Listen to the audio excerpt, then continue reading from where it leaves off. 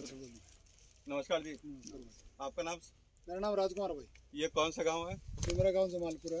ये किस डिस्ट्रिक्ट में पड़ेगा? ये भिवानी डिस्ट्रिक्ट में तहसील भिवानी खड़ा है। अच्छा।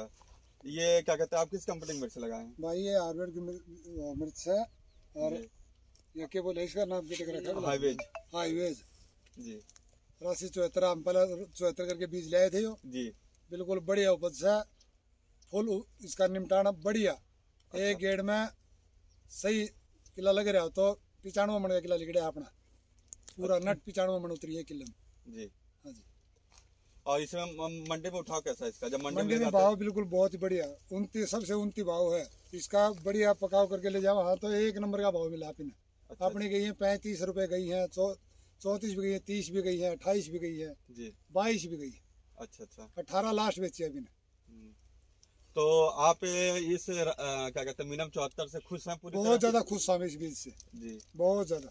तो अगले साल लगाने का बिल्कुल ये लगाओ जब ती- दो किले प्लान है पूरा नट तैयार करा के दोनों के लिए अगले साल के लिए। अच्छा अच्छा। हाँ और आप हमारे किसान भाइयों से क्या कहना चाहेंगे हम ये कहें भाई बीज बो तो यो बीज बो इस बीज में कोई तकलीफ़ नहीं है। पूरा तो पौधा फुटाव ले हुई जी। एक पौधा देख लो इसका फुटाव देख लो।